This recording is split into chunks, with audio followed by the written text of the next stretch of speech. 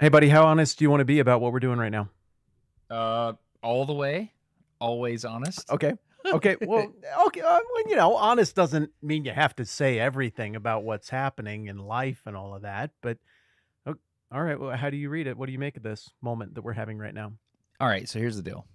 So Matt and I recorded days ago, maybe a couple weeks ago. I don't remember when it was. When was it? Do you remember?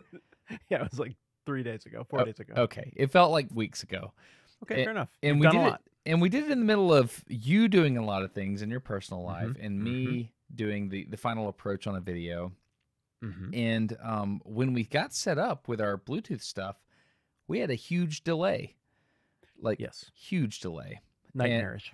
yeah There's it was bad yeah and so we recorded this episode about italy which is something we've been wanting to talk about forever Mhm. and we sent it to tina Mhm. and the problem with polishing a turd I can just see where it's going. I can see it in your expression. is that Yeah, it's okay. still a turd It's still a turd.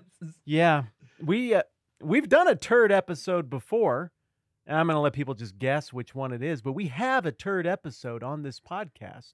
You and I both know which one it is. yeah we it's the bar that we we aspire to never stoop below.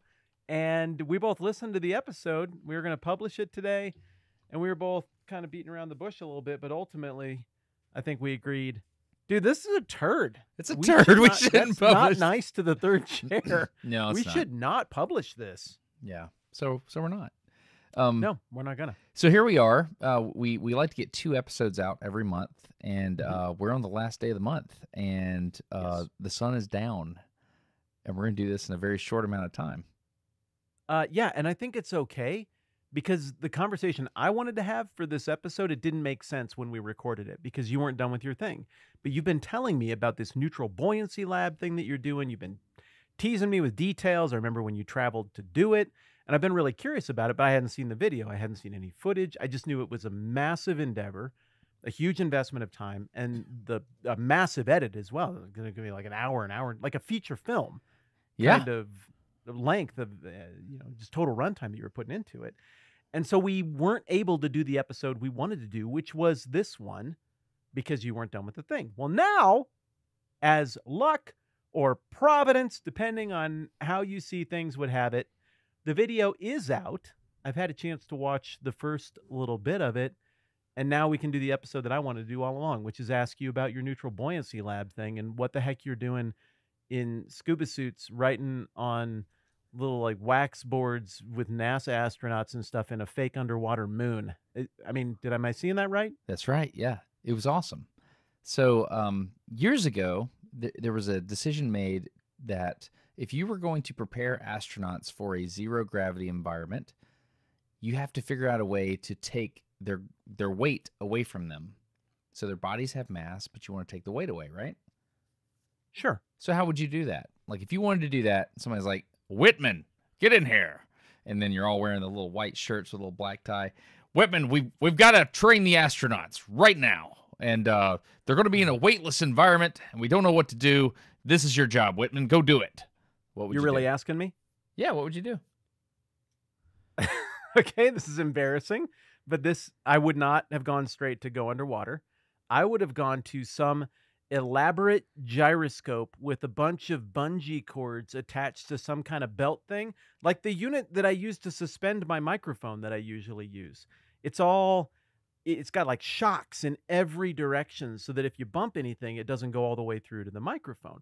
Except I would put that around the astronaut in training's waist on like a belt but then all the weight would be distributed right from their waist and that wouldn't feel natural so i'd put on some kind of suit with like suspenders and stuff that comes off their shoulders and their arms it would be this whole elaborate ready player one style rig that sort of bounces and then i would get the tension of all of the goofy rig stuff to be such that it would match the gravity of wherever i'm training the astronaut to go so you know if you're going to the moon I guess you got to figure out however many G's the moon is, and you get the tension just right, and you tune it for their weight, and then you put them in the giant, ridiculous, basically baby hopper, toddler jumper machine, Yeah. and you have them do moves and stuff. That's how I would do it. That's how I would engineer that. Go ahead and mock me. No, uh, that would work actually. I don't think it would work. How on earth would that work? It does work. Na- NASA has built one, and I've seen it. Yeah. A baby hopper for astronauts? Yes, absolutely. So uh, you've described two things. Uh, you described uh, back in the day there was this thing called Pogo, which was a partial gravity simulator. It's very similar to what you're talking about, and so they've. It- It's exactly what you just said. It- It's kind of. It's not like a bungee thing you would do. You've seen these amusement parks. You've got you hook the kid up to the bungee cord at their waist, and they can jump a little bit. It's not Okay. unlike that. It's very similar to that. And then there's another one, a more modern version that's better. It's called Argos. Um, and here's an acronym Active Response Gravity Offload System. Now, the difference in Pogo and, and Argos, if I understand it correctly, so, so what would be the problems with uh, emulating this 5 6G offset? You understand why I say 5 6 offset? Do you understand that? Yeah, low orbit. i- oh, ex- 1G is Earth. 1G Right. is Earth, yes. So low orbit isn't the same as like just full on space, right? Low orbit, you've still got a little bit more gravity than just out there, or is low orbit just not gravity? Once you get into once you get into low Earth orbit, which is what you're talking about, Mm-hmm. basically the simplest way to think of orbit is like if we were to fire a, a rifle parallel with the ground off the top of the Empire State Building, that thing is going to fall towards the Earth. If we neglect drag, just for the math, that thing is going to fall to the Earth at 9.8 meters per second Meters squared. per second squared. Yeah. Yes. It's going to be a parabolic arc. Now, once it's in drag, it's a little more than a parabola, but you get the idea. Yes. So if you were to shoot that bullet faster and faster and faster, so that the fall of that bullet happens to match up with the curvature of the Earth, that's orbit. Oh. That's that's all orbit is. So if you go up really, really high, So you're still trying to fall. You just can't because of the shape of the Earth. yeah, Yeah, exactly. That's what orbit is. Well, huh? That's pretty cool, right? Yeah. Yeah. So Yeah, so okay. if you're in low Earth orbit, you feel weightless because your spaceship is falling and you're falling. You just never hit anything. That is Okay. that that's orbit. So in low Okay. Earth orbit, you're weightless. If you're on the moon, you there is gravity. There's about one sixth as much gravity as there is here on Earth. So if you wanted to simulate the moon, which is what we did in the video, you have to offset five sixths of your weight so that you're left with only one sixth of your weight. So one sixth is what feels like orbit gravity in the lived experience of a person who is in that environment. No, uh, orbit is zero gravity. And I, I'm just now realizing I confused you because when I brought you in the office and said, Whitman, I said, they're going to be weightless. And now I'm Yes, talking you about, did. I'm talking about five, six offset. So I'm sorry about that. I'm jumping ahead. So Okay, all right, all right. The point is, what what, so- what you're saying will work, and, and they have a little ride that when people come to space camp here in Huntsville, Alabama, they rig them up, and they get to climb on the internet outside of the International Space Station and do a quote spacewalk, and it, it just takes their weight away. Yeah, the thing about Argos, which is the active, uh, it- it's this whole rig you just invented in your mind, but it's active. Now, what does active mean to you? Like It means that it is receiving feedback from what I'm doing with my body, and it is compensating for that blazing fast in real time. It's running calculations as opposed to letting the rig just do it physically or analog. There's a digital calculation and feedback that's occurring. Exactly. In, instead of like a spring or a bungee cord that would be reactive, um, an active response gravity offload system predicts what it's going to need to do based on what's happening right now. It, it has a control loop. And so Okay. that control loop, you, you imagine under a crane, and not like a crane, like a Tonka truck shaped crane, but like an overhead crane in a warehouse. You've seen one of these? Sure. Okay. So imagine that. So the, the crane trolley can move up, you know, X, Y, Z. exactly. And The X and Y are on the ceiling. Z would be represented by dipping down to grab whatever it needs to grab from the floor. Exactly. And so X and Y are are pretty pretty you know possible, but the problem is you have to move that whole trolley overhead and it has mass. And so you have Hmm. lag because you've got to accelerate that whole trolley system over your head. So that's Okay. the, that's the hard part of that. But Okay. anyway, my point is what you've said will work. And in fact, NASA uses that to train astronauts for for reduced gravity environments. What I described is the POGO system. The old version is the Pogo. The new one is called Argos. A R G O S. and POGO stands for something. It's just one of those really fun acronyms where you make it match what it reminds you of in your brain. It's like a pogo stick, I, I think it's just. some I I think super it's just complicated partial gravity thing. simulator, and and people just call it Pogo because it it kind of I don't know. Yeah, it's it's basically a. It looks like an engine hoist kind of thing from the pictures I've seen. I've never seen the Pogo system, but I have seen Argos, and Okay. um, yeah. So yeah, what what what you described would work. That would that would get some of it done. But but there's some problems with what you've described. Um, there's another thing you can do. Okay, can I guess what the problems are? Yeah. Um, I, I don't I don't know a lot about Argos and, and uh, Pogo. I mean, that's not something I'm great Well, at. So we'll I would think the POGO system would work pretty well as long as the astronaut in training is basically upright. But as I learned in Ender's Game, there isn't really down in space. And so I would think inversion would require require like a series of gyroscopic rings that could move inside, but then you have actual gravity working against you in different ways that would feel unnatural and would not simulate zero gravity. And there's really nothing you can do to simulate the inversion without an active system. So I would think the Argos system would do better at getting you oriented to being in an environment where there is no up or down in reality. But yeah, I, I don't know. I that's the only problem I can think of. That's the only limitation that immediately springs to mind for me. I, I think it would be difficult to design it. Like I'm I'm imagining trapeze artists, these aerial acrobats, and they have the bar, Yeah. or in gymnastics when they do the you know the what is it the split bar thing? You know what I'm talking about. Mhm. I think you could flip over that stuff. So I, I can imagine them mounting an astronaut uh, spacesuit in a yoke, and you could just flip over front or back. But I think it'd be very hard to move in the cartwheel axis. I think that would be difficult. Yeah, I could see that. I, Okay. I think it would be difficult. I, I'm sure the engineers are smart and, and they figure that out. So yeah, you, you're right. That's one way to do it. There's another way that's really really cool that I got to do one time a long time ago. I think I told you about it. Do you remember what the other way is? If you were going to simulate reduced gravity, Upside down and inside out, we're gonna feel it. What What is is the uh, o- the OK Go song? Oh yeah, exactly, yeah. They did a video with your uh your zero G plane drop thing, right? Yeah. I think that's the song even that goes with the video. I don't, I, upside something like that. It's it's It's really a cool. fantastic video. The Vomit Comet, yeah, or the, the There we go. Company That's- called yeah, Zero G. So basically, what they do is they take an airplane and they just start pointing up, and then they just kind of go over the hump.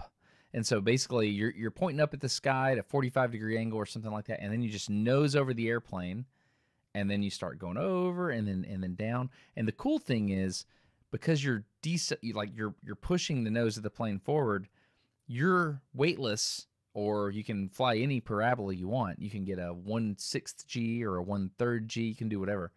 You're weightless as you're still going up in the airplane.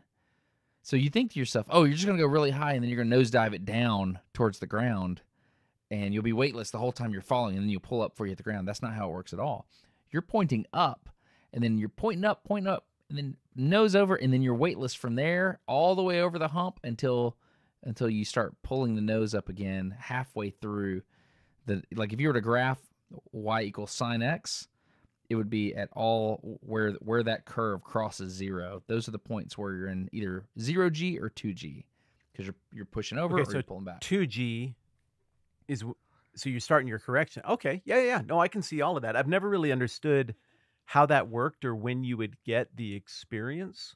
So it's like 30 seconds that you get on the upper part of the parabola. exactly that's the limitation so if you Okay. got if you got something you want to i don't know test How do you do that? So let's Right. say you want to test, which is what I got to observe. You want to test a next generation astronaut spacesuit walking in lunar soil at one sixth G.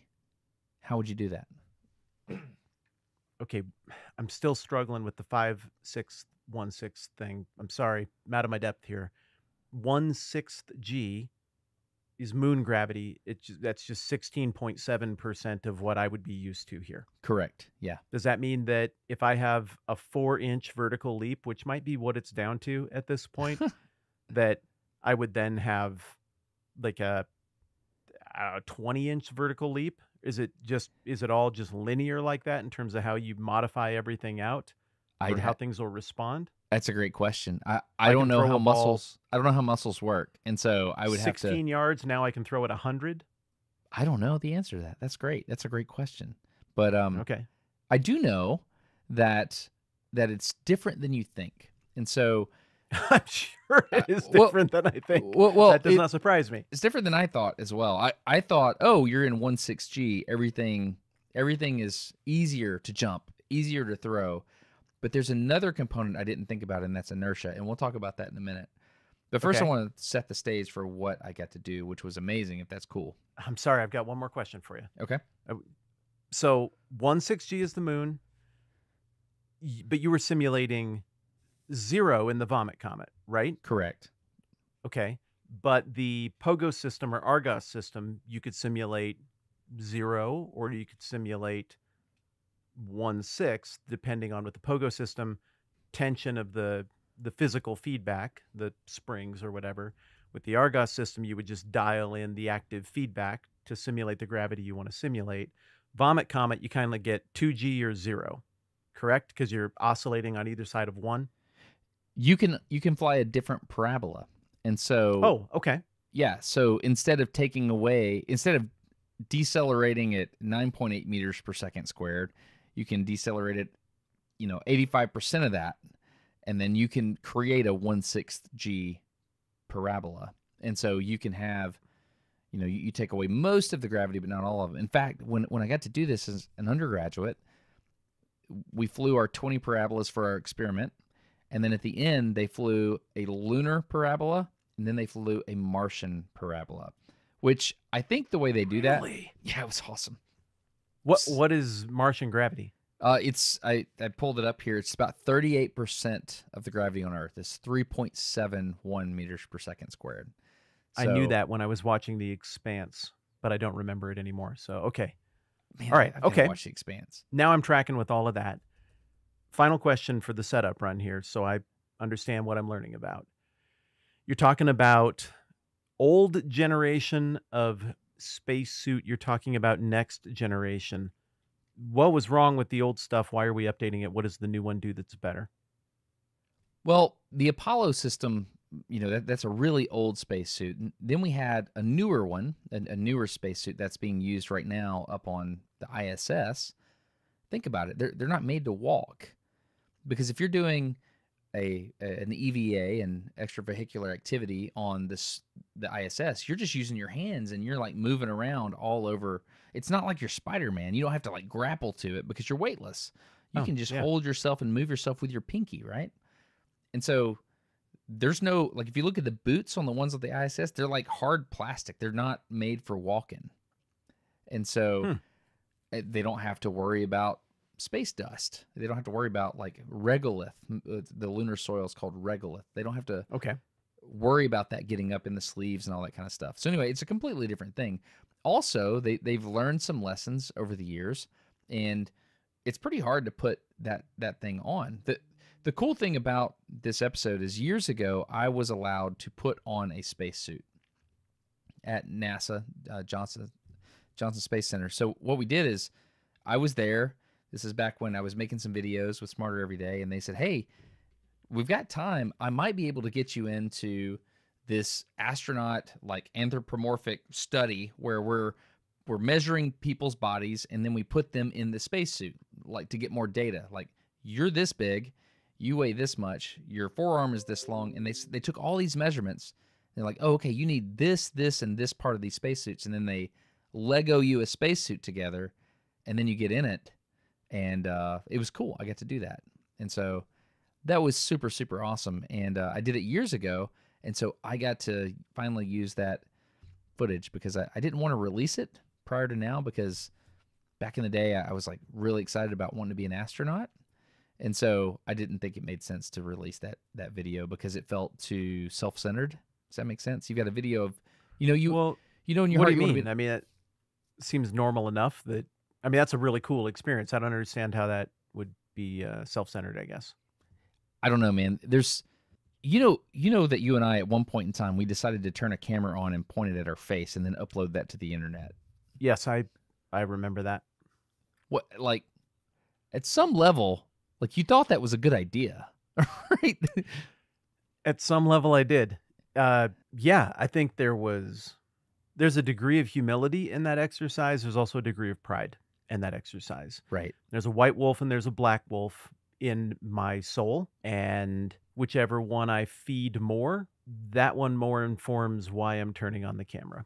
And obviously, light and dark in that scenario is a reference to, you know, the ideas of where the light shines and where the light does not shine, like the ancient ideas of yin and yang and balance and all of that stuff. I don't know. I'm, I'm overthinking it. I'm over communicating it. Just simply put, yes, cameras do weird things to your soul. And if you're the one in charge of what you film and what you say and what you edit and what you show people and what you don't, there's a temptation to try to make yourself look cool and have it be all about you. Right. So I get that. that make yourself look cool thing. So there was a shot that I had in there of, and, and keep in mind, I want to be an astronaut kind of thing. There's a shot of him putting an astronaut helmet on your head and latching it, and you start breathing. And I'm not filming that. Somebody else is filming that. And I was like, man, there's no way I'm putting this on the internet. This is just too, it's too much. You know, I don't know. It felt like too much. Self-serving, yeah, it did. like like it would flip the point of the video from being about the person watching to being about you. Yeah. Yeah, I don't know. Mhm. It was weird. I, I couldn't I don't know. It was just strange. So anyway, um but Okay. that Was it heavy? What was the suit like? Did super heavy. just weigh a crap ton? Super heavy. Yeah, absolutely. There's a backpack called a PLSS, uh portable life support system. That thing was crazy heavy. And so I had to walk. They you know, they they mount the the hard upper torso. They they mount you to that and then you like climb up through it. It's very difficult. And then you put the pants on and then they put the helmet on and the glove. It's just a very difficult thing to get into by yourself. They got some kind of tube on your thingy, so you can pee while you're in there. Or you have to go in for a bathroom break. How's that work? So Apollo did. Uh, Apollo did have the the urine system. It was it's like a little rubbery condomy type thing, and it would it would you would pee into that, and then that would go into a little bag. And uh, they they came in three sizes. Do you, do you want to guess what the sizes were? Uh, I'm gonna go with large, extra large, and extra extra large. It was actually humongous, is the word they used. Yeah, come on, you're trying to. You're depending on these people to operate very sophisticated, expensive machinery in space. Other people's lives depend on it. You can't have them second guessing themselves or their competency level. Yeah, Yeah. large, extra large, and humongous. Well done, NASA. Yeah, Mi- Michael Collins in his uh, book, he was talking about that, and uh, I, I believe, if I'm not mistaken, instead of small, medium, large, it was large, gigantic, and humongous. so funny. No, they, uh, in that spacesuit that they're using now on station, they, they use what's called a MAG, a, a maximum absorbent garment. It's basically a diaper. And uh, Really? I was offered the diaper to, you know, hey, do you want to? The astronauts wear a mag. Do you want to do that? And I was like, no, thank you. And I really wish I had done it, but I Dude, did. you should have taken it and peed in it. I know, right? Exactly. Why not? That's the astronaut experience. I know exactly. So, so the thing I was invited to do was go to the NBL, the Neutral Buoyancy Lab, which is this other way to to do weightlessness, which is basically you get in water, and Okay. they trim you out with weights, and because you're in a spacesuit that has air in it, you float. And so you have you ever been scuba diving? I have. So, but now we're to new suits. Yeah, we're we're in new suits. They're- Smaller and lighter than what you tried on, I assume, because newer things tend to be smaller and lighter, or still huge. they're just better in in several ways. They they have they have shoes made for walking. They have what's called a rear entry. So they have a hatch on the back, and you can climb in it. It's it's something you can actually get into by yourself. Hmm. Um, it's you really need uh, people to help you. I guess in theory, Like getting into a mech. yeah, yeah, kind of like the the Orlan, which I believe is the Russian suit. It it was rear entry. The the Russians designed a rear entry suit years ago, and you supposedly can get in there and like throw this lever and you latch yourself in. Like the problem is sealing yourself in there, right? That's Mhm. the problem. Don't want to get that wrong. No, I don't think so. I, I don't think you would want to.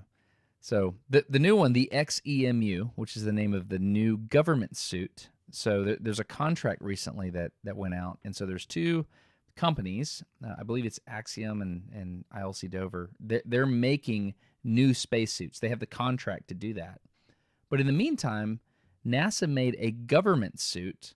This is the XEMU, and the purpose of the XEMU is to gather data. Like we're going to just come up with all this data on how these suits work, what pressures are best, and all these things. And then we're going to give that data to the contractors making these suits, which I think is interesting. So that brings us to the big picture, the neutral buoyancy lab, and you getting to try this out. And you're wearing one of the XEMU suits in there? No, sir, I I didn't wear the suit. I was allowed to scuba dive with the astronauts that were wearing the suits because the astronauts were testing a, a very interesting thing. They were testing the pressure of the suits. But before we get to that, you said you've been scuba diving? Uh, I have. Yeah, not a ton. I mean, I've snorkeled a ton. I love that activity. But a little bit of scuba diving. I had a buddy who was into it and he taught me how it worked and I learned and I made some mistakes and I did okay and it was really neat. Did you learn how to control your ability to float in the water? Like, do you know what a BCD is? A buoyancy control device? Do you remember that? I remember that. Uh yeah, it's been a while. Walk me through it. Bring me up to speed. Like a floaty vest. Do you remember wearing a floaty vest and you could hit a button and go and you could pump air into it? I do remember that. Mhm. Okay, so the the deeper you go in water, the more pressure there is on you, right? Sure. And if you have an air bubble with you and you take it down, it's going to shrink. And when you Sure. shrink, your volume gets smaller, and so your density goes up. And so what can Okay. happen is this really weird thing when you're descending uh, with a scuba diving rig. As you go down further, your vest can start to shrink and you start to sink faster. So it's this really strange thing that happens. And so it, it's kind of counterintuitive. And so when you're coming up the other way, I think you and I have, have spoken about this before. There's this, let's say you're at the bottom of the pool and you take a big breath and you hold your breath. If you were to swim towards the surface with your breath, you're holding your breath, what would happen? Hmm. I I think it I feel it like it pressures down with that. If I swim toward the surface with a full breath, Yes. Yeah, I feel like that pressure's down. It would blow you up.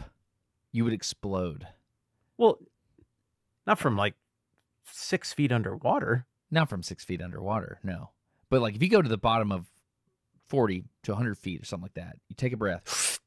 Oh yeah, yeah, yeah, yeah. So when I take a breath, okay. Sorry, I'm tracking with scenario now. So let's say we're in the 12 foot range, Okay. and I take a breath and I go down. I feel that compression. Yes. I feel my shoulders wanting to roll in, and the the relationship between my body and my lung capacity feels cramped. It feels different. So you were asking me to imagine getting the breath somehow magically 12 feet below water and then going up with it. Am I understanding? Yes, with a scuba regulator. I'm sorry, I wasn't Yeah, clear about okay. that. Yeah. Yeah, yeah, yeah. Now I've never experienced that. I didn't go very deep in my little bit of training and goofing around that I did, but yeah, yeah. Uh, that would hurt as I came up. I would expect. Yeah. Have you ever seen a fish? You you've probably seen this deep sea fishing. Have you ever seen a fish with their swim bladder like all puffed up? Have you ever seen that? Yeah, I had to trident uh, koi recently to uh, euthanize it. What? Its swim bladder became damaged.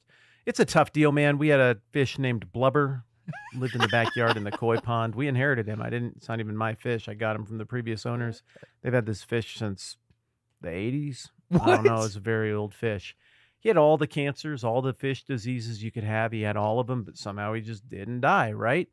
Well, I go out there last season and uh, it's over. He can't, he just can't control it. So I give him food.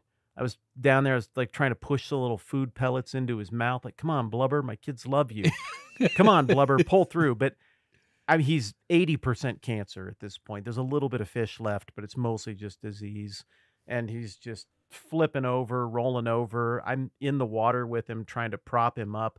There are tricks when the swim bladder gets deflated from pressure or stress with a trout where you can you can get them righted by moving water along the gills and holding them at a certain angle. You can get that bladder functioning right again. You can get It- their equilibrium is it back. normally too big or is it too small? The swim bladder. Uh, well, I don't know how a fish. I would think it's works. too small. I, I would think it would be too small in my experience, because usually if I see a swim bladder that's too low, I'm fishing with a new fisherman and they're freaked out by the fish Mm. and they over clinch it Oh, and the fish goes. And I'm like, oh, good, you're doing a good job. That's great. Why don't I put that one back for you? And so to me, it looks like they squeeze the air out of the poor thing. And I imagine that as I work it against the current in the most oxygenated part of the flow, I'm getting air back into the swim bladder. But I don't know the anatomy of fish, dude. I just know that it works. And then eventually, when they feel right, you can feel the tense up in their flanks and their musculature. And that means I'm right again. I can swim. And off the trout goes. Blubber, there was no such tensing. I think where the muscles were, it was just cancer and bloat.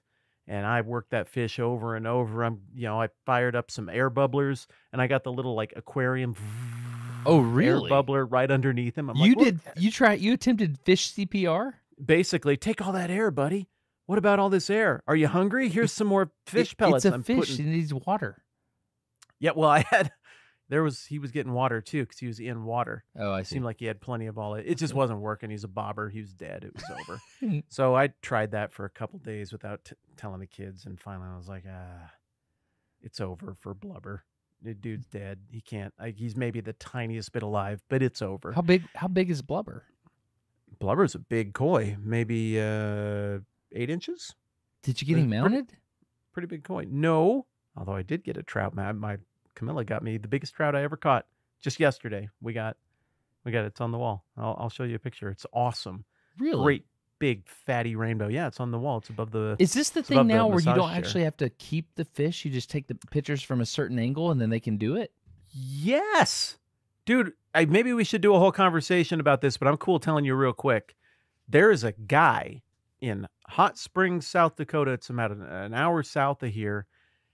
Camilla looked him up online. Dude is amazing. I went to his workshop yesterday.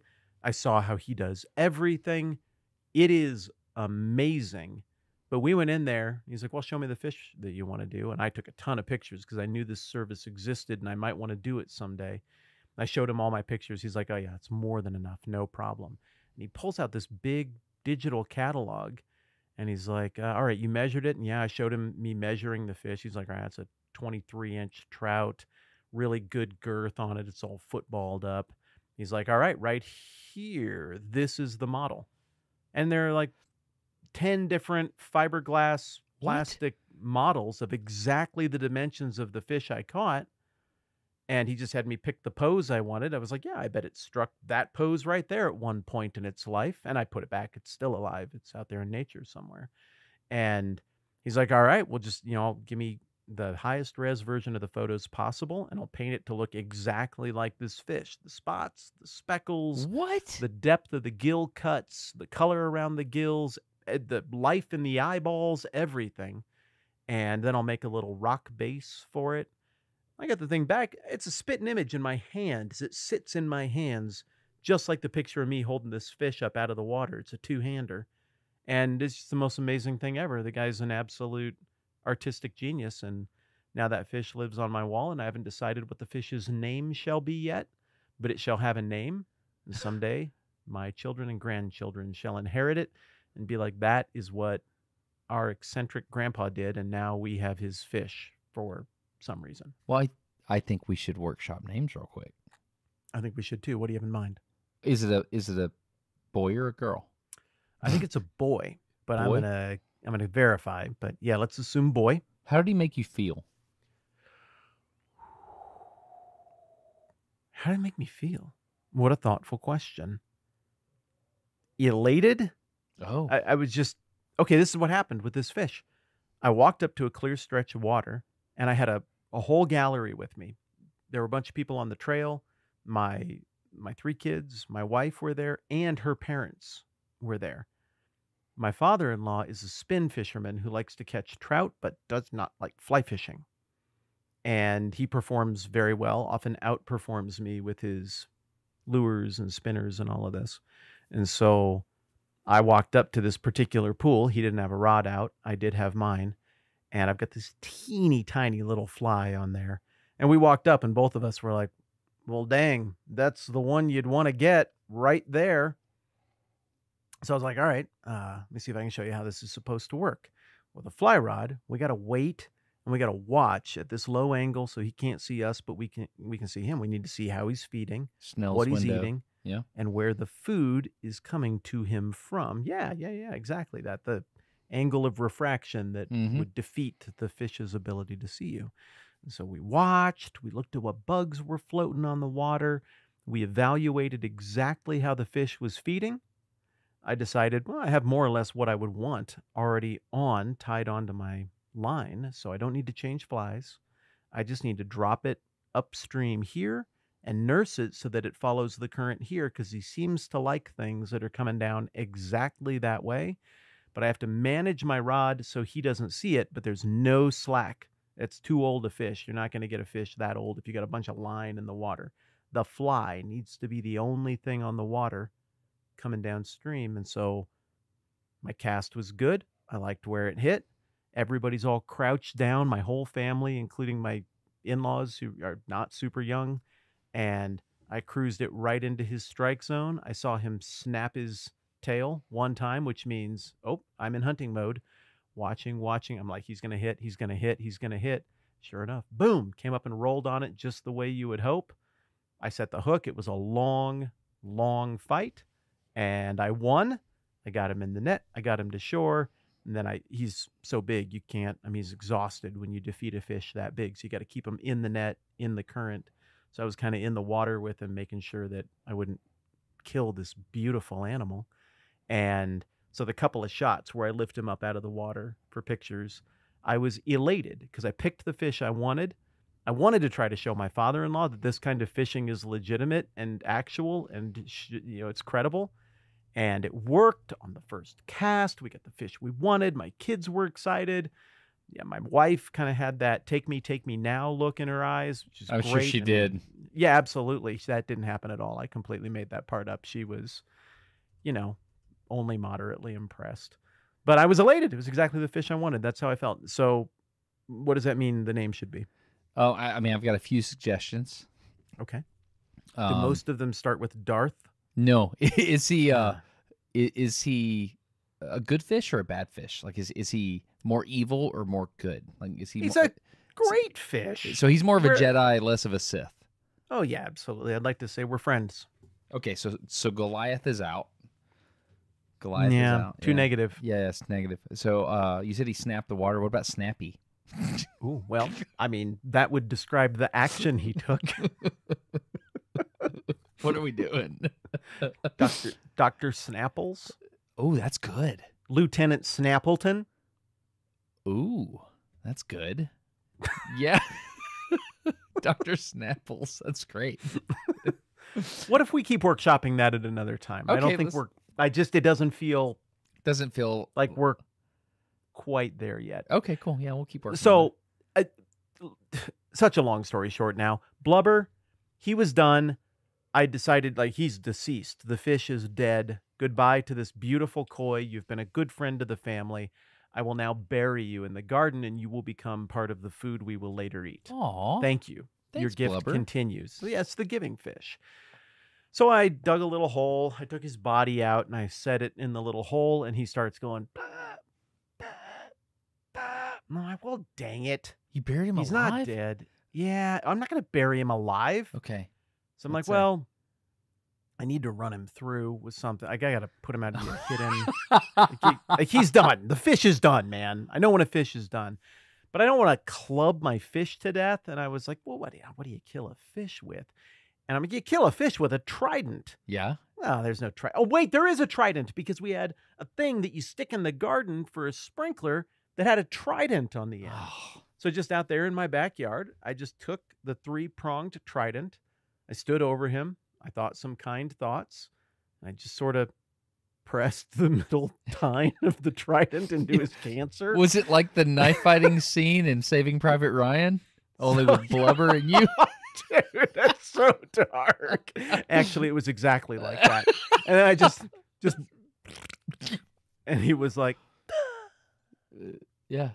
Yeah. yeah. And then I buried Blubber, and now he is part of the food we grow in our garden, and he That- will be missed. He's a wonderful fish. That's a great story. Thank you for that, Matt. You bet. This episode of No Dumb Questions is brought to you by the patrons. Those are the people who took a look at this situation. We're like, hey, I like that podcast and it's free and I don't have to pay for it at all. What if I did anyway? I really appreciate that equation that you ran. Thank you. Absolutely. And uh I mean, let's let's go truth again, right? So we are motivated to get an episode done right now because Yes. yeah, the patron like the patrons not only paid for this, they they told us to do it. They slapped us on the hand like, "Hey, do it." No kidding. I, it is 8:47 p.m. where you live. It is 7:47 p.m. where I live. And I had a wonderful Easter Sunday with my family. We got up early, we did church stuff, we had a great dinner, we played games. Wonderful day. And I came down to publish the podcast and you and I touched base and we were like, "Well, it's hot crap. We shouldn't publish that at all." Why would we put that milky sludge on the internet and forever besmirch our name and bore our listeners? They're nice to us. We shouldn't do that. So we had two options before us, a fork in the road, if you will. Fork option number one was it, I would just don't do anything. Just punt. Eh. Didn't work out. We missed on that one. Just didn't get to where we wanted it, and we're out of time. Whatever. Option number two was, yeah, but the the Patreon thing's quite the motivation, and this is the last day of the month. Yeah. We should do that. This this is actually really helps our families. And Which tells you how bad that other episode was. So we climbed Mount Mordor and we cast it into the volcano. it's where it's gonna stay. the point is, I- thank you very much, patrons, for supporting the podcast. We are severely grateful. And uh, if you want to check that out, go to patreon.com slash no dumb questions. And I think we're going to start doing the conversation over there, right?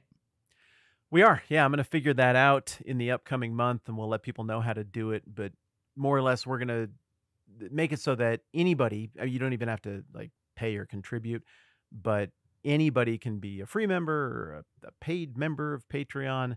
And we're just going to move the conversation over there because I like the culture on Patreon better. There's a bunch of a bunch of you who are awesome who are on Reddit and on Reddit frequently, but I don't want to force people who want to talk about the program to have to spend time on Reddit when I think that could have positive or maybe negative impacts on a person's life. So we'll just move it over to Patreon and let everybody participate, whether they're a patron or not.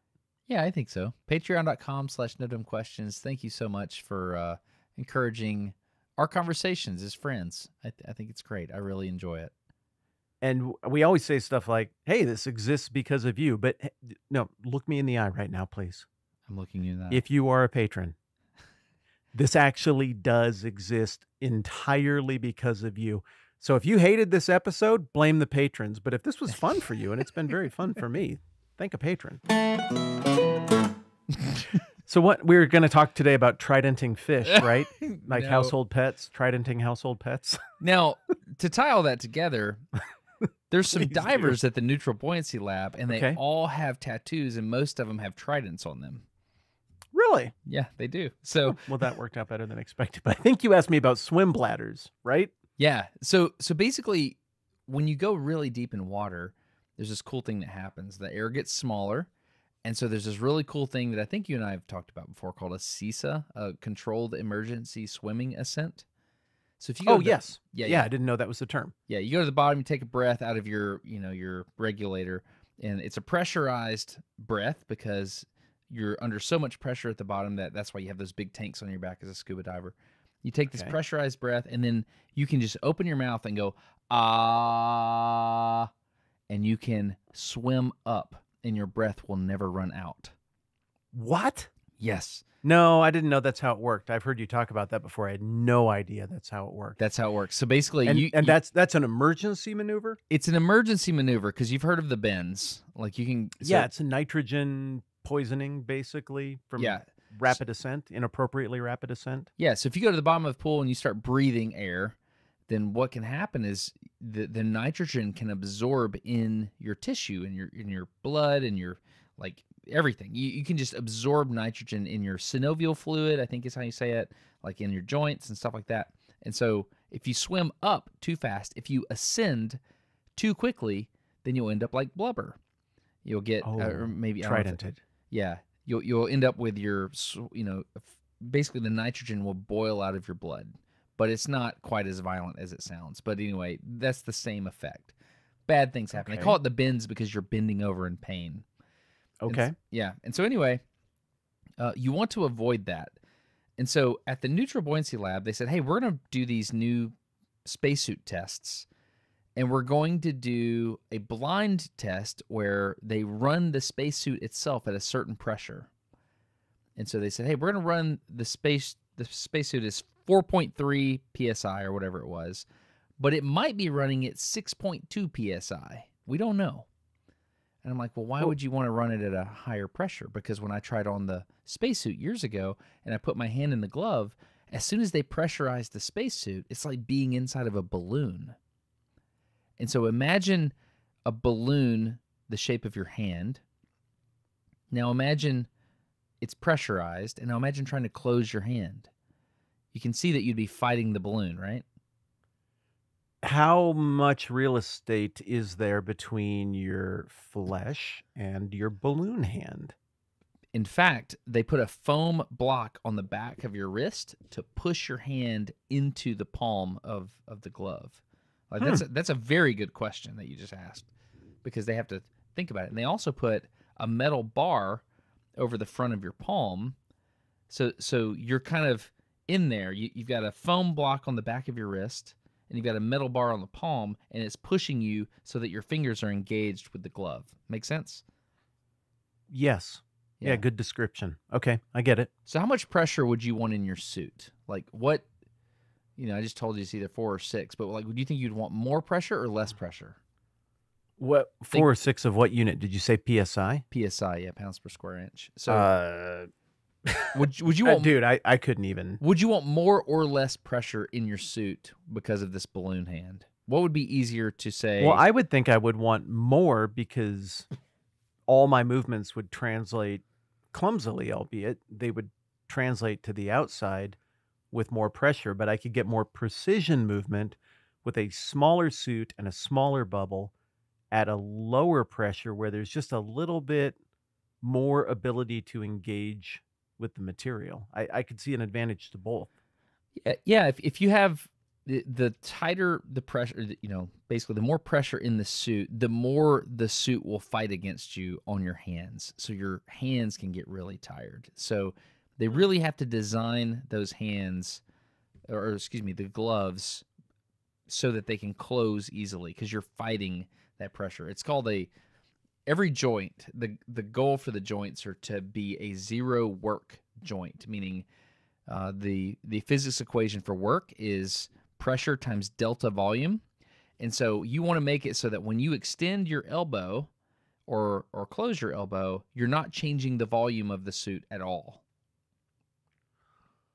Does that make sense? Wow, I had not even thought of that, but it makes infinite sense. Exactly. Yeah, I mean, humans articulate in, I mean, what's the number? A hundred different ways with all the little things that we can bend. Every one of those is a change in pressure in part of the suit. Oh, wow. I'd never thought about that complication at all. So you're oh, okay. So you're suggesting that what they're trying to do is make it so that no matter what you articulate, the pressure remains uniform throughout the suit in the envelope, the air envelope. Is that am I hearing you Yeah, right? yeah. A constant volume joint is the goal. Like, and, and think about ah, building a, a s- CVT, controlled variable transmission, a CB. Oh, joint CVJ. Okay, I got it. I got it. yeah, a constant volume joint, not a, a constant velocity joint, which is a thing in the car. I- Oh, okay, great. yeah. But but I basically im- imagine building a suit of armor so that all the elbows and, and knees and stuff bend without. Uh, it, it'd be a hard thing to do, right? Then you have to get a- Very. an O ring in every one of those joints, and it would just be challenging.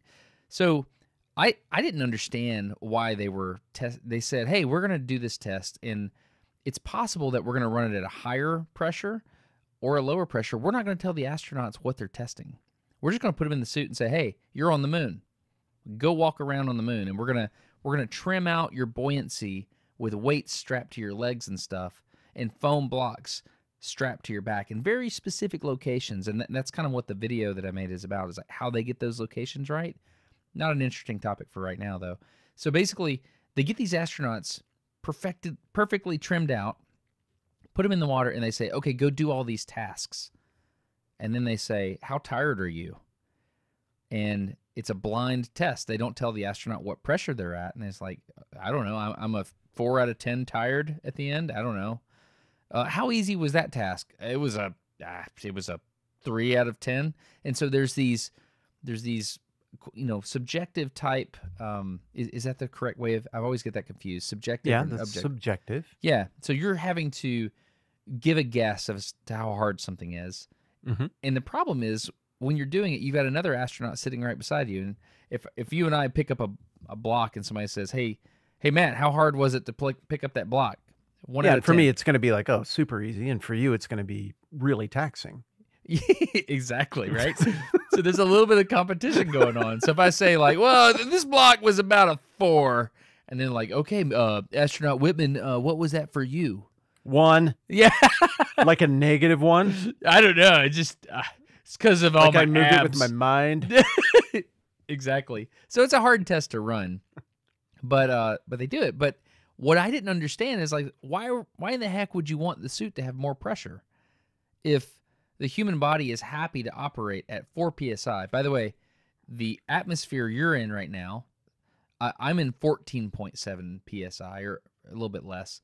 You are what's your altitude where you're at? I'm at about 700 feet here. Where are you at? Um, we're on the, we're kind of going up the hill here in Rapid City, so three thousand ish. oh wow wow Not like Wyoming, where I mean, in Lander we were solidly at a mile. Oh wow, you probably have way more hemoglobin than I do. That's, that's yeah, I was gonna say that, and I was always afraid of hobgoblins growing up. But you know the, the hemoglobin, globin, yep. What is that? White blood cells? Hemo? It's the red ones. How do you say it? Hemoglobin. Hemoglobin, I think. Yeah, so that's the oxygen Yeah. saturated cells. yeah, yeah. You have more red blood cells to transport oxygen. Yeah. Oh, do. the white ones are the ones that uh, they fight the bad stuff, right? yeah, yeah. This got is the- seriously eighth grade health. I haven't covered this. since I was a child, so I, don't remember. So the thing- Okay. the whole purpose of the test was fascinating to me because because I Wait, said how do you know? You just know your psi off the top of your head? for some reason that's I mean, well one atmosphere for some reason I re- I remember all these numbers. It's 1760 torr, I think. It's 101.325 kilopascals. It's 14.7 psi and what's what's the other ones? I don't know, there's more. But for some reason I got really excited about one atmosphere of pressure and just memorized a bunch of it. Tw 29.92 inches of mercury. I think that's right. Or maybe Dang, dude. It's you know how else. many kilopascals? I didn't know there was a kilopascal. So I, I that's don't know. pretty. That's pretty good. Hey, You get the things that you memorize. You could tell me when did when did Israel fall to uh, Nebuchadnezzar? When was that? 586 BC. Okay, yeah. So you know this stuff. When did Darius take over? Approximately. Yeah, 520, give or take. See, yeah, you know these things. I, I don't know that stuff. So anyway, um, the test they were running was fascinating. They said, ideally, when astronauts go to the moon with Artemis, we could run them at a higher pressure. And I said, why would you want to do that? Because that that makes it harder for the glove thing. You know, I, I, I remember this from years ago, and they said, oh well, it it will decrease the pre-breathe time. I said, Uh, what? what does that term mean? Yeah, basically, right now on the International Space Station, and people don't realize this, if they go do a spacewalk, you think, oh, they're going to put on a spacesuit and then they're going to go out the airlock and then they're going to go, you know, like move around on the outside of the space station. Yeah, duh. Yep, sure. Except that's not exactly how it works. You you start by putting a mask on your face. It looks like an oxygen mask in a in a hospital. Okay. And you breathe 100% pure oxygen for like two and a half hours or two hours or something like that. You have to do what's called pre breathing because you have to get all that nitrogen out of your blood.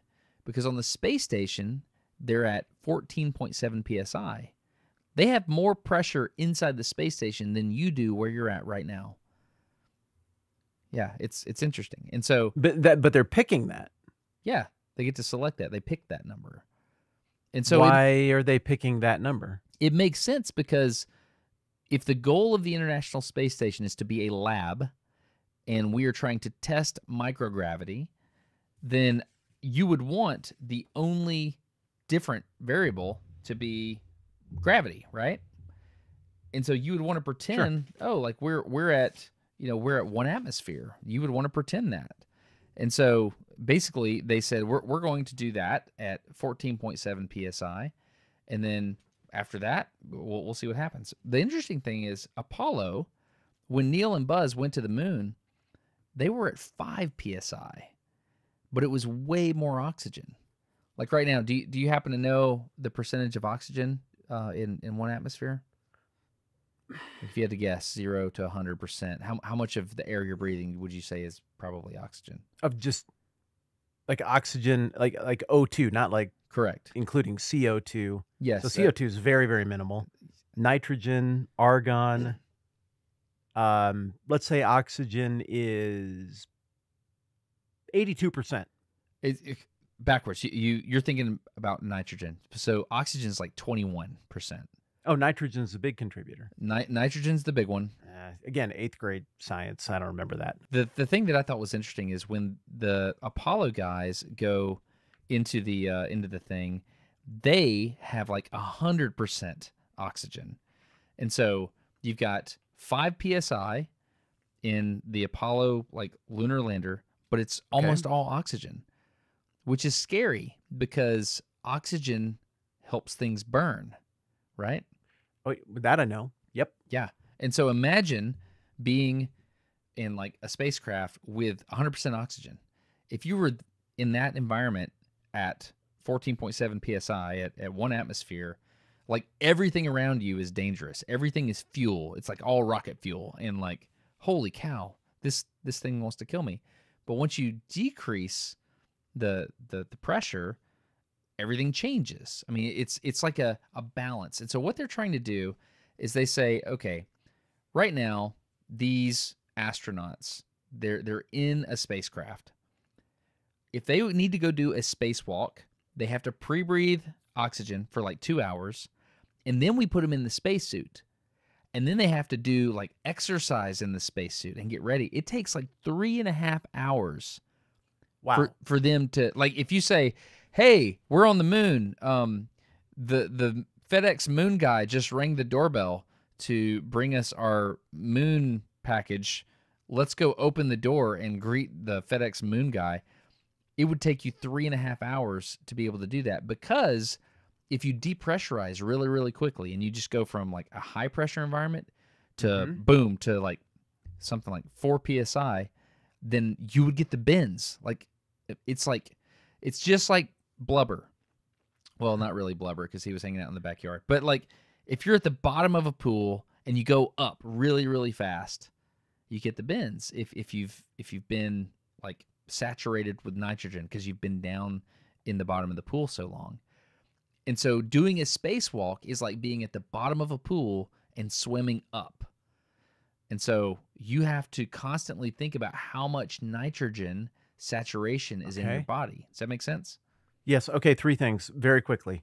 Uh, one, No, I really am an idiot because I make fires and burn things, and I understand what oxygen does to things, and that oxygen in high concentrations is like that. That's ideal for stoking fire, flammable even. So for me to guess that the world we live in is 82% oxygen and we don't constantly explode, bad form, Whitman. It's I Whatever, mean, dude. This is You- basically live radio. What are you You're, gonna you're do? good. I'm not uh, serving you up the questions in, in a in a easy to understand way. No, no, no, no. I yeah. my bad. Should have had that too. Okay, so that's a lot of nitrogen in the atmosphere, and we are taking that out of. I mean, they're breathing basically just oxygen, right? They're trying to supersaturate the blood with oxygen. Is that what you're, Yeah, you're when saying in, the- in when- the when- preparatory? yeah, when they're pre-breathing. That's right. Yeah. Do you need?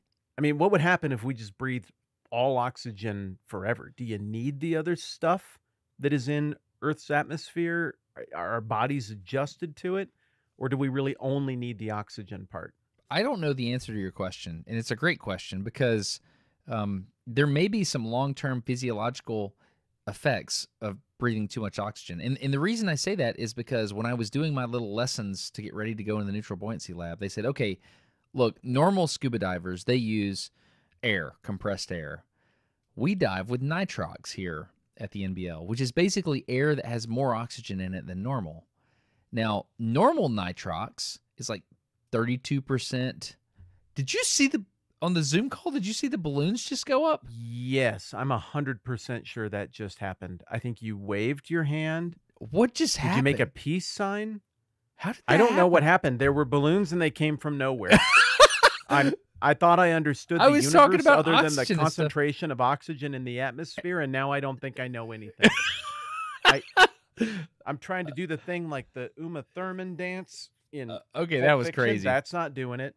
So so anyway, the the oxygen um in the the gas that you breathe at the NBL, it's called nitrox 46. You can't like it's not normal nitrox. So basically, What if is put 46? That's a concentration of oxygen. So so if you put more oxygen in your air and you compress it and you go down and you breathe it, you can stay down longer. okay. dep- depending on the So depth you go. double-ish the oxygen of what you normally get. Yeah, I, I guess it is. Yeah. So so anyway, we breathe nitrox at the NBL, and so you don't have to worry about doing oh, neutral buoyancy lab. Got Yes, it. I'm sorry. Okay. Forgive me. So one thing you do if you're a uh, if if you're a scuba diver, you're going to go to the bottom of the pool and like the deepest dive I've ever done was about hundred feet, and that was a long time ago. It was, Okay. and I was looking at my pressure gauge on my tank, and man, my air was going fast because as I was breathing it, it was compressed more, and I was taking more of the air out of my tank. It's a very interesting thing. So anyway, I was I was diving, and once you do that, if you go that deep and you and you're breathing under such high pressure, you can't go to the surface because you'll get the bend. So you have to go up Right. just a little bit, and then you look at your watch, and you just you just sit there and you float at a certain depth, and you start exhaling the nitrogen, and then you go up to another one. You do it's called a safety stop. You go to a you know about ten feet or something. you'll just start Mhm. breathing, breathing, breathing, try to get rid of all that. And sometimes you'll say, "Hey, we're gonna do a two minute safety stop," and Hmm. then we're just breathing the nitrogen out, and then you go to the top, and then you still have nitrogen saturated in your joints and in your blood and stuff. Do you So feel it afterwards, even if you do it right? I never have, but one of the things you can't do, and this is interesting, is you can't fly after you scuba dive for 24 hours. Huh. Because if you were to go up to your elevation, like that's less pressure, right? Right. And so anyway, the the thing that I learned in this trip that was the most eye-opening to me is you want the pressure of the spacecraft to be as close to the pressure of the space suit as possible. Because Neil and Buzz Okay, that's my third question. I think you're speaking to it right now. Remember a second ago, I was like, oh, I got three things, and I Yeah. forgot the third thing. Yeah. The third thing was everything you're describing is so slow. What if something happens Exactly. and you're like, well, I got to breathe oxygen for three hours? Oh, I, I mean, there's a there, there's a space gremlin out there destroying our No, a, life r- support a real thing that can happen. I Let, let's gotta breathe. a micrometeorite. Let's say we got like uh, uh, oxygen tanks outside, and a micrometeorite strikes one of the tanks, and they're all connected together. But there's a valve over there. I can go shut the valve. Oh, there's always a manual switch. Right. Someone's going to have to sacrifice themselves. So I know. I know the spot. Yeah. So basically, you can't just be like, "Oh, Sanchez, he's going to do it. He's going to save us." You know. You know. I don't know. It just seems. It just. I think Sanchez is the guy. Actually, I, I do. Yeah. I think so he's going to be great. so that's the So thing. this, the idea here is we could speed up the time that you could get out and address things, and this would. I mean, this is vital for the long-term prospects of doing space stuff or colonizing something with little or no atmosphere. You have to be able to get out there quicker than three plus hours in order to eh, to just maintain your existence because you're you're exposed. You have no shield. You have no armor out there. And so the suit, the design of the suit, the pressure of the suit, the pressure of the space colony or space station, all of those things might need to be reconsidered to see if we could shrink the necessary time to respond to things happening outside. Absolutely. And Huh. and you nailed it. That's the deal. And so I didn't know this was a thing. And so I was able to observe a government test. They let me scuba dive and watch these astronauts in these suits at the bottom of the pool. And and I was able to be like, "Oh wow, this makes so much if we can increase the pressure of the suit or decrease the pressure of the lander, the closer we can get them together. For example, right now, if you needed to go get band-aids right now at the store how long would it take you to get ready I would slip on my slip-on shoes and be out the door in if it was I mean if that was the thing I needed most in life, I could be out the door in 15 seconds. exactly right so like we need to be able to respond to that but if it's the whole church not church excuse me if it's the whole family getting ready to go to church for easter right Okay. and you all want to like i don't know I, I, I let's say for some reason you all have to dress like penguins or something i know you don't dress up I that don't much want to go to that kind of church. yeah i know you don't but but let's say let's say culty. it's a I don't know, it's a daddy daughter dance or something. and. Everybody has to get ready. Like how long is it going to take you guys to get ready? Forever. I know, right? So I I think there's a middle ground. I think there's a middle ground that you can do. I, I think like an hour. Like if you think about a spacesuit, it's over in the corner. How long is it going to take me to throw on that spacesuit? It's going to take me, I don't know, 30 minutes. I got to put on the magic underwear that cools me off. I got to put on, you know, my diaper.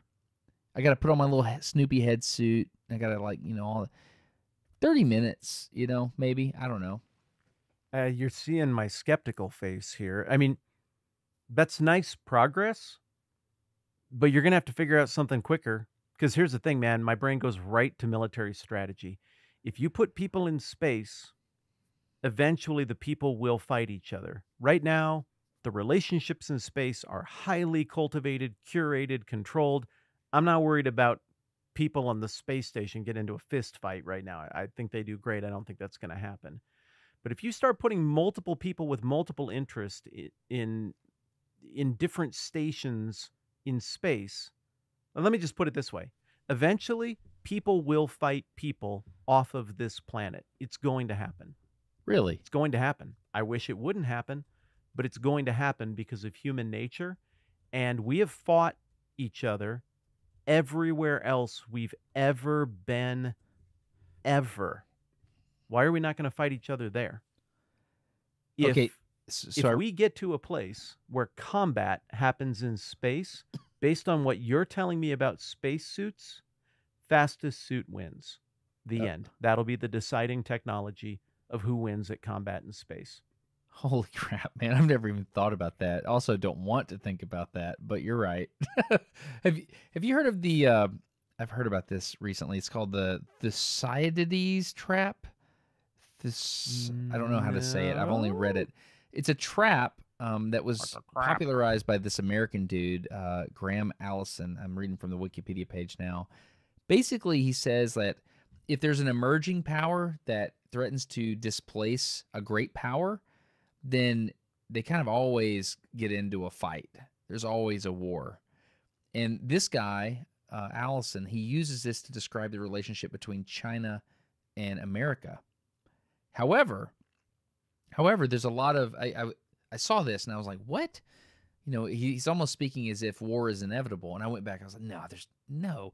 And so there's a lot of counter arguments to this that say, well, actually, if you go back to history, and this is your this is your bailiwick, if you go back to history, every time you see a, a new power, an emerging power coming up, oftentimes war happens, but not all the time. And so it's a really interesting thing to study um, and uh, maybe we maybe we table that and learn about that at a different time. I mean, One thought. yes, It depends on the time frame. That depends entirely on the parameters.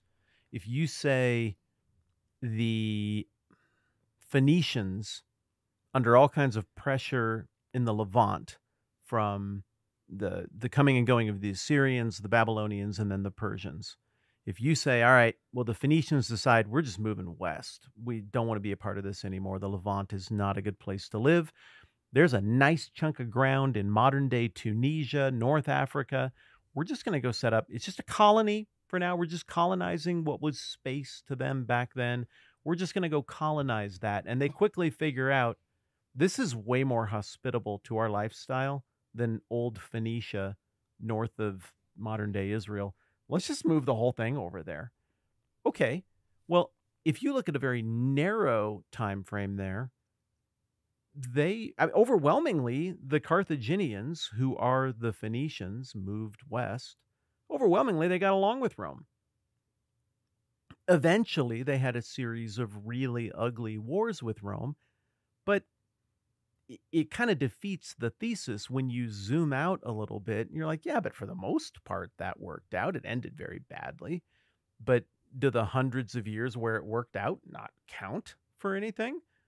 I mean, those are good times. I think it counts. So, I, I, my my question on all of that, in terms of a big grand historical theory, would be, well, what counts as a rising power, and how long do they have to be rising before we count them? I'm I'm not sure I'm convinced, but I'm convincible, and that would be a fun conversation for another time. golly, dude, it, it's so interesting that your brain just instantly solved that problem. Like the space force is a thing. And isn't there like a space movie now where people fight on the moon? I don't know the name of For All Mankind. I haven't seen it, but people I don't know have what told that me is. about it. Yeah, it's some kind of show and and I don't know. I know there is a there's a scene that I've seen like floating around on social media of like astronauts with rifles or something. Don't like to think about that. But Hmm. the fact that there is a space force implies that What a eventually waste. Yeah. What a waste. Why I is it a, Oh, you're- just you're seeing what you went through to almost become an astronaut, you're baiting and then right thinking now. about what it would look like for somebody to go through all that and just be like, "There, go to space. Now here's a gun. Shoot somebody else who went Oh, yeah. through all of that." I mean, Yeah, just- what a squandering of a mind, of a life, of the dream, of the energy, all of that work to go and fight in such an inhospitable space where the slightest wound is basically death. There you go. I mean, it's just uh, never would there have been such an expense of soul and of treasure to get one dude in a place where he could point a gun at another dude. We should not fight in space. This is very, very bad, and that idea sickens me. Even just from a human resources perspective, it's a horrible idea. like human resources like, you know, welcome to Anytech just a moment. Like like that kind of human resource? No. I'm joking. No, you no, know, I mean. uh, the Russians put a gun in space. Th- th- there's there's a gun on the International Space Station right now. what do you use it for? The idea is for bears. If you land on Soyuz and you land in Europe, or excuse me, in Asia, like if you land in the on the land, Soyuz is interesting. It's designed to land like on Earth, and so they have these. They call them soft landing rockets, but it's anything but. Like right when it comes down, there's a radar altimeter. Right before Soyuz, the Russian, you know, reentry capsule, before it hits the ground, it fires these rockets to decelerate you, and so you don't just basically hit really, really hard. You're under a parachute anyway. What's the story name of their reentry thing? I've, I haven't heard that term before. Soyuz? S O Y U Z, the Soyuz capsule. Huh. Okay. And, and so anyway, it's like a little gumdrop kind of thing. But anyway, they have a a gun on board, as I understand it, in case they land in the wilderness and there's bears. Huh. The, the U.S. has decided, no, we're not going to put a, a gun on the space station. We don't need to do that. But if the Just Russians, bear spray. if the Russians feel like they need to do that, then they can do that. So there is a gun on the International Space Station, which I thought was interesting. Do they say which Russian did it? Was it Anton Chekhov? Because that would have so many layers. I'm just saying. I'm just saying. Okay. So you get, I mean, what was your experience at the lab? I mean, are you getting suited up alongside the astronauts? Are there other scuba divers in there watching this? I mean, I saw just a the tiniest little intro to the video, and it looks like they made a moon but put it underwater. And all I can see is you down there writing on a wax clipboard. I mean, I saw the first few seconds. Yeah, it was amazing, dude. So I got to go down. I got to see him do the test. They were picking up rocks, and then I learned about this last thing I'd like to explain. So we we mentioned earlier that on the moon you have one sixths of your weight, right? Okay, but how much of your mass do you have? All of it? Exactly, all of it. So in football, when you run or basketball, you're running straight and you try to change directions real quick. Yeah. What Okay. happens to your feet? Well, that's where a lot of the energy transfer happens. You're pushing off of a, a stable surface to redirect that energy. I mean, you got however many joules of force moving in one direction, and you're trying to redirect all of that force. You can't do that without something to work against. So, what do your toes feel like when you make that pivot? Let's say you're juking somebody. What, what do your toes feel like in your shoe? You can feel them kind of Uh, push. if it's a poorly fitted shoe, you feel them kind of mash up against the front, and you'll pay for that later. exactly, right? So, Okay. now let's. So, so, what enables you to put that much force into the ground? I would argue it's your weight. Uh, and your momentum. I mean, that's what's producing force. No, no, your momentum doesn't let you put that into the ground. Uh, like you're you're you're- Really? you're having no, you're having to do a pivot force, right? So you need traction on the ground. So if you're playing basketball, you've got rubber shoes and a hardwood floor. Okay. Yeah. And, and so your side to side forces, like that's friction, right? You need Yes. friction on the ground. You need, uh, in other words, traction. You need traction with the ground. yes.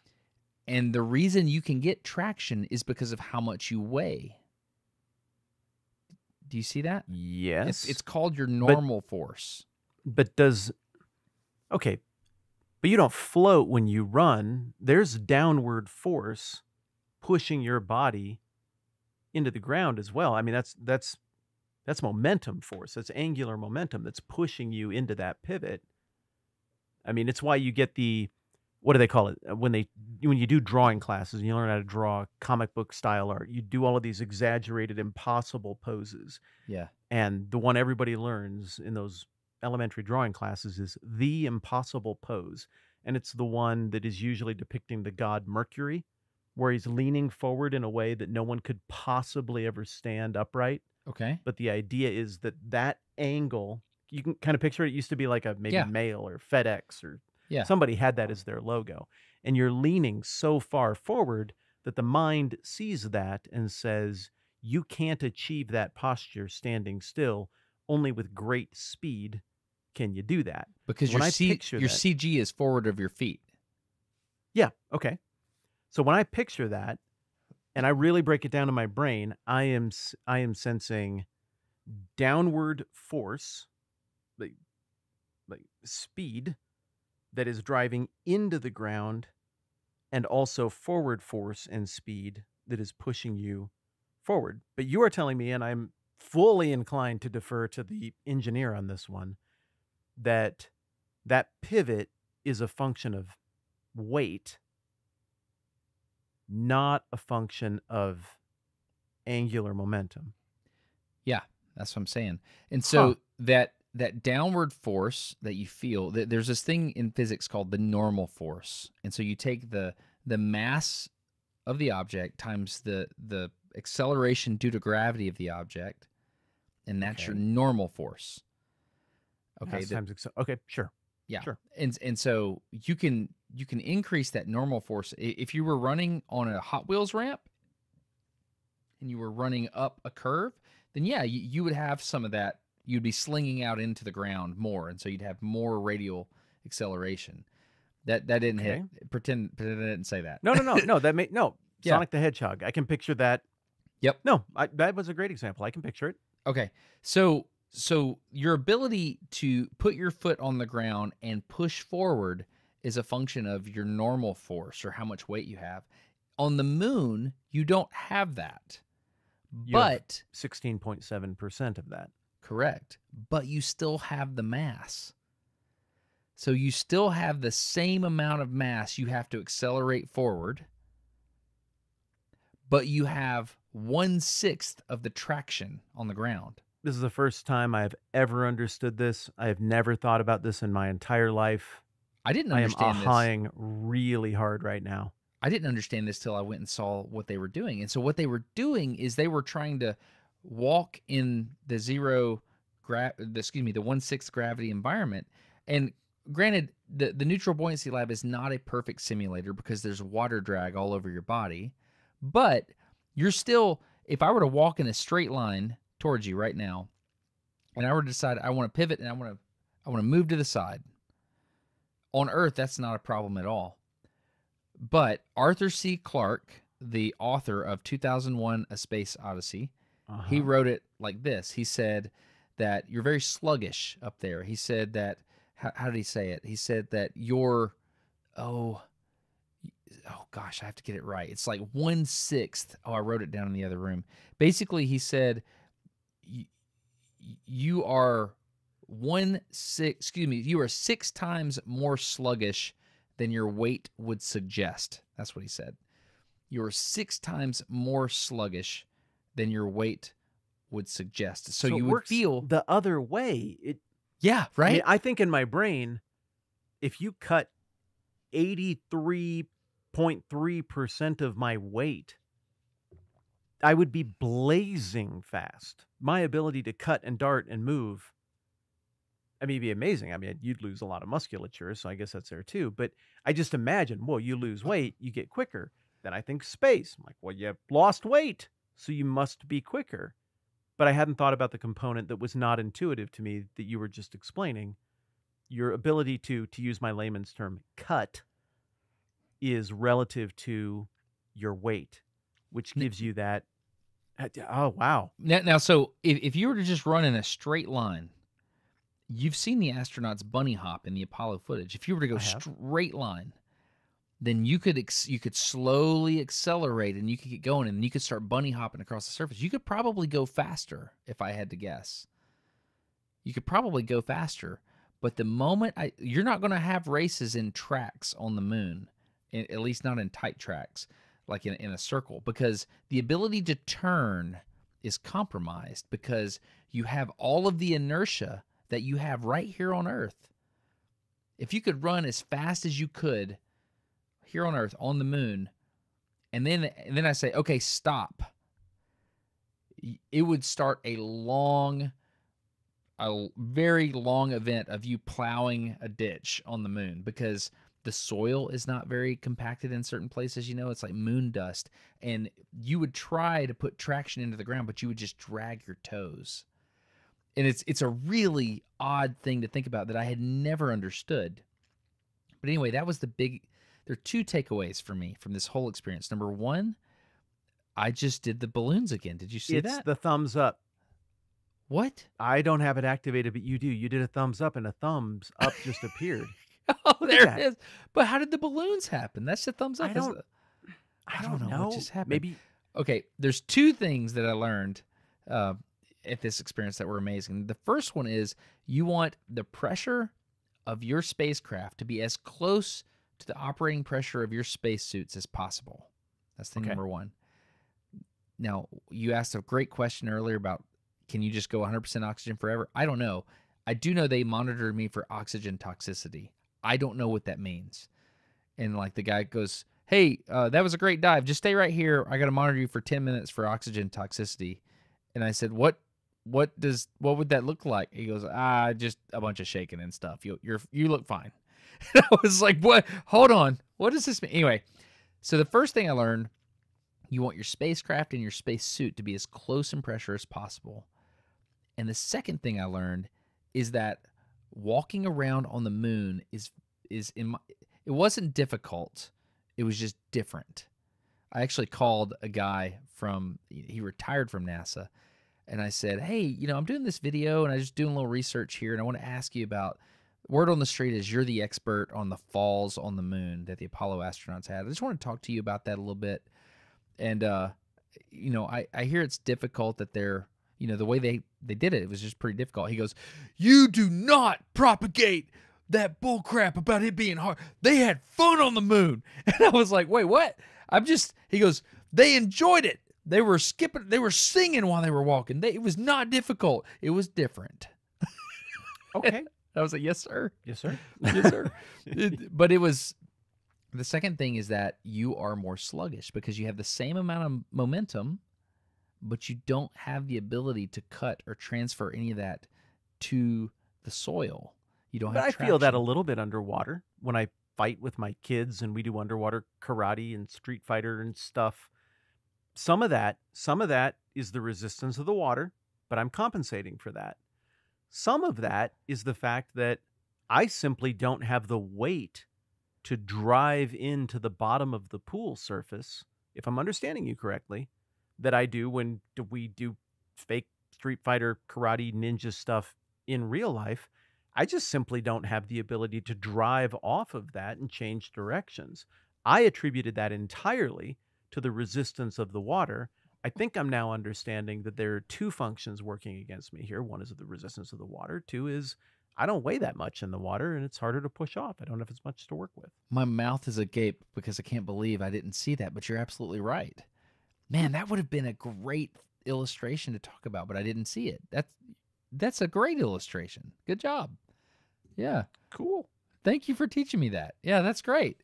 So, yeah, that that was it. Those are the two big things I learned, um, and I loved it. The opportunity was incredible. Um, the people at the Neutral Buoyancy Lab, th- there was a guy there named Dominic Del Rosso that he actually was part of the reduced gravity vomit comets thing I did when I was an undergrad. He was Oh. running it at the time, and now he's doing other things. The, the man's done everything. And there's another guy named Pat Keller. He's a scuba diver, and he's the guy that basically he babysat me the whole time and he kept me safe. And uh, they did great. And so it, it was it was wonderful. But there there's some things about that video that I can't. I don't think I'd do a good job of explaining it. Like Neil Armstrong's actually in the video, and he explains something about the angle of attack of a spacecraft on the moon, and Okay. he, it made me realize that landing. So HLS, the Human Lander System of uh, that NASA's working on, the ability to land that on the moon, it's it's like a cartoon way to land a rocket. Like it's the the Starship for SpaceX. You land it on the you know the tail, kind of like Mhm. upright on the moon. Okay. One thing I realized making this video is that when we come in to land that thing, we're going to have to spend a lot of fuel just stopping it, stopping its lateral motion because you have to tilt over rockets a lot more on the moon to stop them. It's hard to explain, but it, it makes sense with graphics in the video. So I realized that in order to land on the moon, we're going to basically have to be coming straight down like a needle, you know, like a pencil when you were jumping in the swimming pool, you know, when you were, Yeah. at- you know, the pencil. So yeah, it, it, it was a, a wonderful experience. And uh, I think, I, I think that's the, the, the main deal. Those two things. The traction was amazing. I got to see an astronaut fall on his back on like on the bottom of the pool. And I understood why, because it was, he mismanaged his CG. He didn't mismanage. It was just different. He was having fun. He was singing. There you go. Don't propagate that bull crap. yeah, that's it. it. It was great to uh, it was great to experience it. So thanks for uh, thanks for having that conversation. I I will never see the physical world the way I did before this conversation. I understand my relationship with the world around me better than I did before we talked. And what an amazing way to spend whatever it's been an hour and a half. I can't say that after most conversations. I really understand the physical world better. Thank you. Well, thank you for teaching me that when I'm wrestling in the shallow end of a swimming pool that yes, I'm fighting the drag, but I'm also not getting traction on the ground, which is why it's so hard to run in a swimming pool. That's interesting. That's weird that that's what you took with you. The real important thing that I taught you in this conversation is that the only honorable death for a fish that is your friend is what? To trident them in the swim bladder. That is correct. R.I.P. Godspeed. Destin Sandlin. Godspeed.